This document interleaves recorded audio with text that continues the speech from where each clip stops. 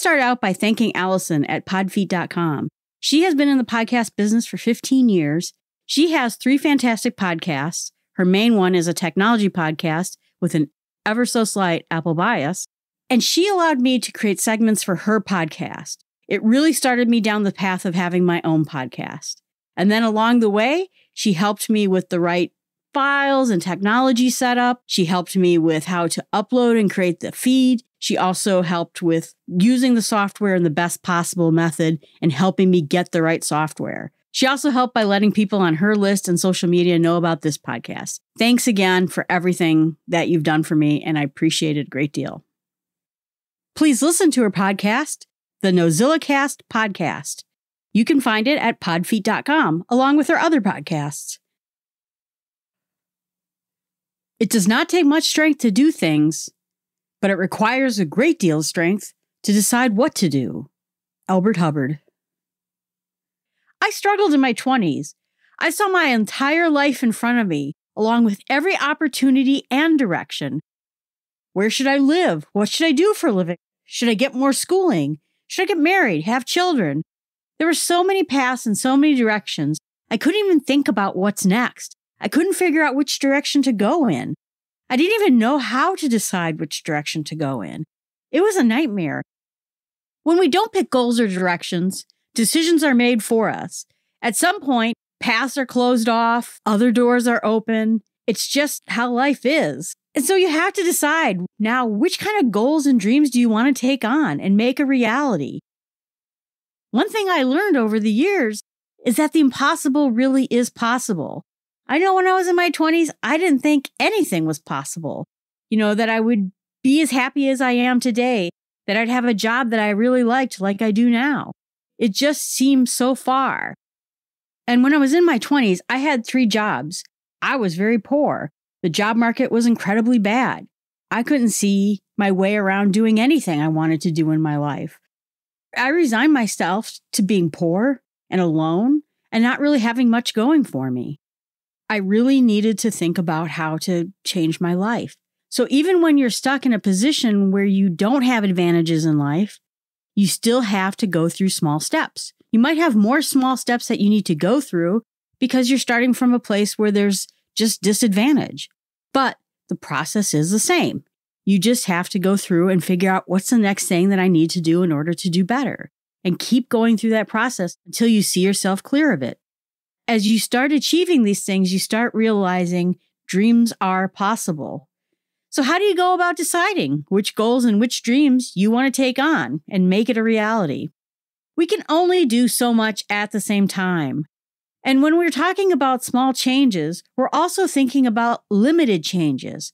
And when we are deciding, we have to think about the time, the resources, either financial or material.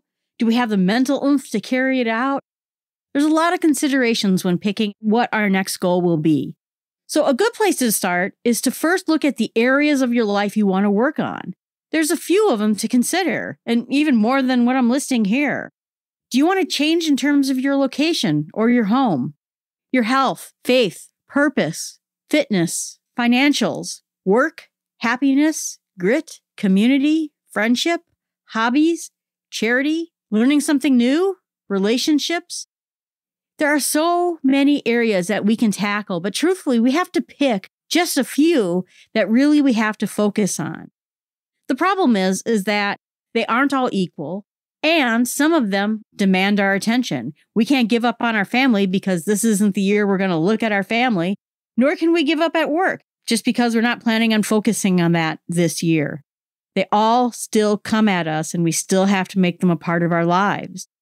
Truthfully, even if we do pick a few areas to work on, we can't guarantee that we can follow through on that. Maybe when we thought we weren't going to really focus on work and that our job was stable, we need to immediately change plans. Or when your family was quite happy and things were cooking along, someone in your family needs immediate attention. Sometimes we have to change our plans and, and go after something because it became more important. We are really bad at knowing what's best for our lives and our happiness.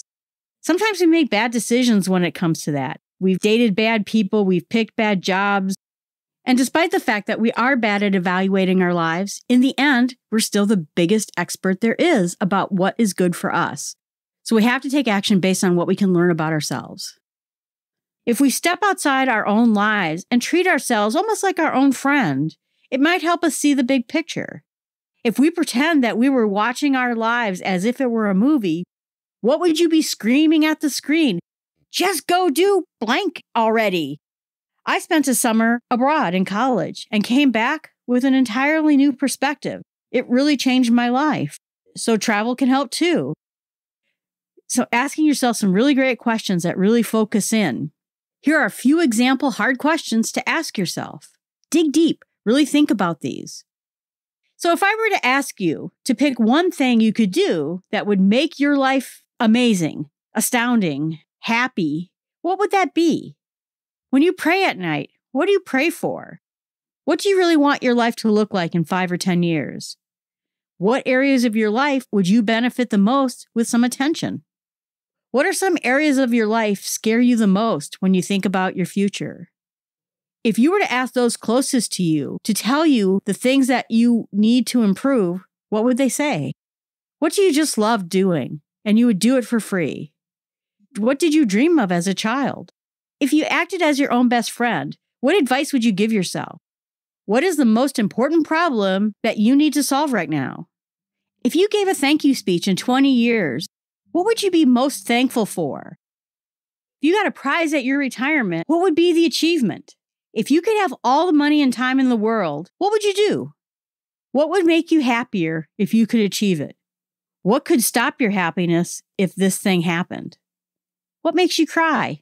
What makes you angry?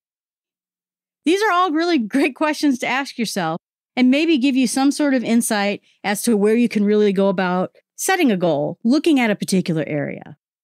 My best friend and I have a lot of things that are exactly opposite from each other, and this area is one of them. She thrives when she aspires to a goal and has a vision of the future. I thrive better, strangely, out of fear. I often say to myself, do you really want to go to retirement without any money and so overweight that you can't have any adventures? Well, you better go do something about it. It might be the voice that we get from people in our lives when we were younger, but either way, you have to find out which questions mean the most to you. When you consider the future goals, you also must consider circumstances. What kind of goals do you have time to tackle right now?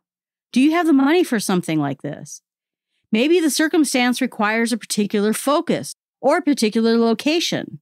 Maybe something has your attention and your energy right now, and so there would be some backing behind it.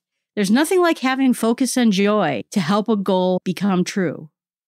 I wanted to do a podcast for a while, as I mentioned before, but because of the current circumstances, I now have the time to do it. I also had my money that I was going to spend on vacation to spend on the podcast. And I really had the interest. I had an invitation to do segments for a podcast, so I knew a little bit about how to record a session and how to make it sound okay. But doing those segments really started me on the goal of doing a podcast for myself. I loved doing them. I thought they were fun. And now here I am on my own podcast. Now, once you pick a focus, you must figure out how many goals to choose. We'll look at a few ideas in picking goals now that you have a general topic that you want to fix in your life. Something to keep in mind is we all just have 24 hours in a day, 365 days in a year. We all have obligations and hobbies. Once you start working towards a goal, you might change your mind and decide that you don't want to pursue it. And sometimes you don't really know until you start taking those first steps. And if you're starting out in goal setting, start small, build trust in yourself. As you get more experience and start achieving more goals, you can take slightly bigger steps, but in general, keep it small. It's hard when you're new and you really don't know if you will succeed at the things that you set aside for yourself. Once you learn a little bit more, then you'll be able to temper this a better way. The Full Focus Planner is part of Michael Hyatt's planning tools. It's really geared towards high performance checklist and goals with plenty of reflecting on what went right, what went wrong in that time period. They split out goals into two kinds achievement goals and habit goals. Achievement goals are something that has a set goal, like to pay off a house or go on a big vacation. Habit goals are more something that you will do every day, like have two servings of vegetables or take a walk after work. Then they have people pick seven to 10 annual goals in a variety of areas, just like we mentioned before. They think any more goals might get overwhelming. They mentioned that according to one study by Dr. Gail Matthews at the Dominican University, there is a 40% bigger likelihood of achieving a goal if you write it down.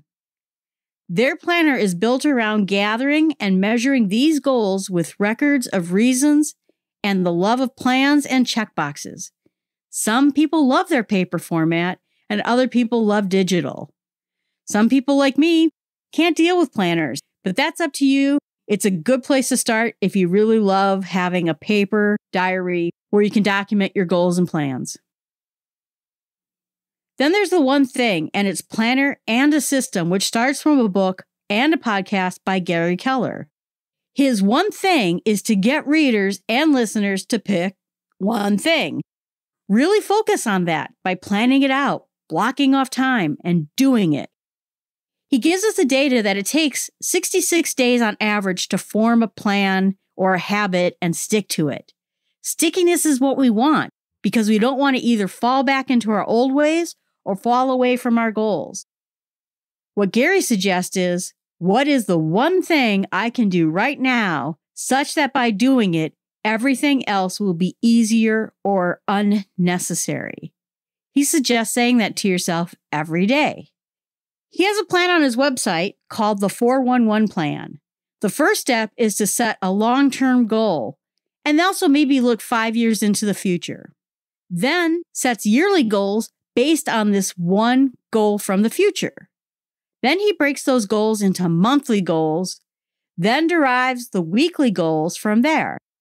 Then from here, you block off time on your planner or your schedule or wherever you keep it and start writing specific, actionable tasks. In that sense, it's very much like the focus planner. On a podcast I heard him talk about, he wants you to seek those items for big impacts for your year, your month, or your week. It comes down to saying, if I were to achieve this action, my life would be so much better. He recently developed a 66 day plan. The goal is to pick one thing and work on it for 66 days until you nailed it. Maybe you repeat it.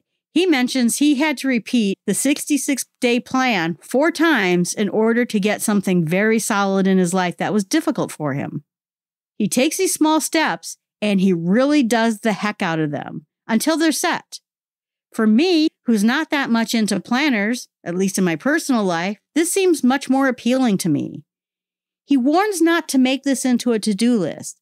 The activities must fit the ultimate goal and not just something you want to check off a list. To find out more about this plan, there will be a link to it in my show notes. In his book, he frames the plan as a someday goal, a one year goal, a monthly goal, a weekly goal, and the right now goal. They all work together and are subgroups of the someday goal. This sets up what he considers to be dominoes that fall right into success. As the small tasks and goals are accomplished, the bigger dominoes start to fall. And he insists that you block time for this one thing. Once it's done for the day, then the rest of life can continue to happen and then the other goals and tasks you have can come.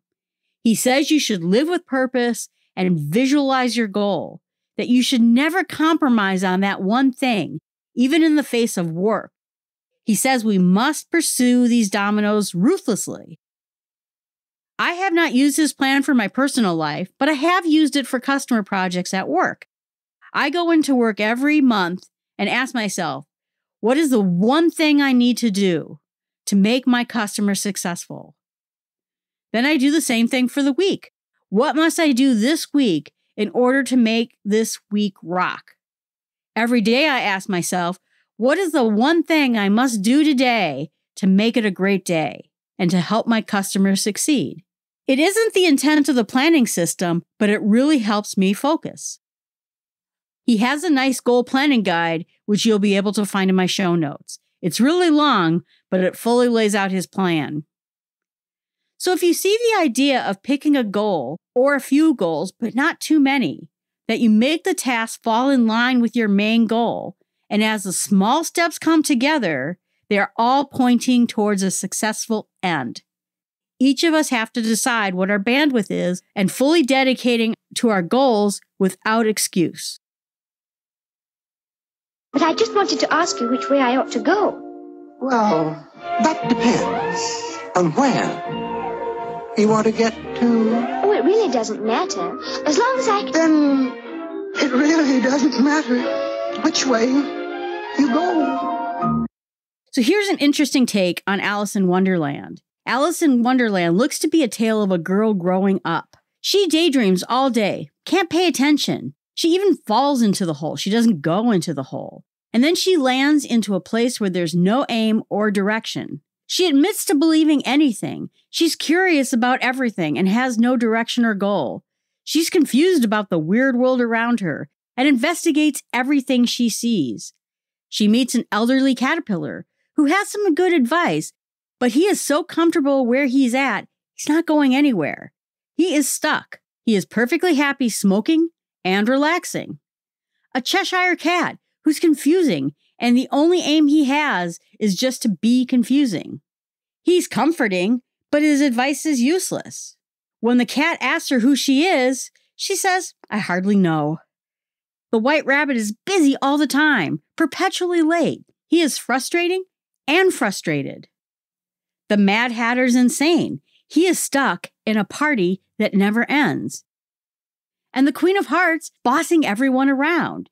She's making her priorities everyone else's problems. She doesn't care about the impact that it has on other people's lives or what they have to do.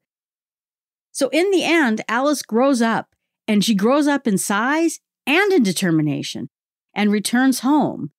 You can look at the story as Alice progressing from a child into an adult. According to the editors Charles Frey and John Griffith, Alice is engaged in a romantic quest for her own identity and growth for some understanding of logic, rules, the games people play, authority, time, and death. When you approach the book with this idea in mind, it offers an interesting and meaningful interpretation of the events and characters in the story. So, this is what we must do. We must throw away the confusion and the uselessness. We must stop becoming daydreamers. We must get rid of being stuck in contentment. Throw off the priorities that are driving us mad or burning us out, and all of the priorities that everyone else is putting on us. And lastly, throw off the bossy other people who make their life more important than your own. Summary Dream big about your life. Look at those main areas you have in your life and figure out where you really need some work or where you have some really big goals. Number two, ask some hard questions of yourself so that you know what it is you're really looking for in life.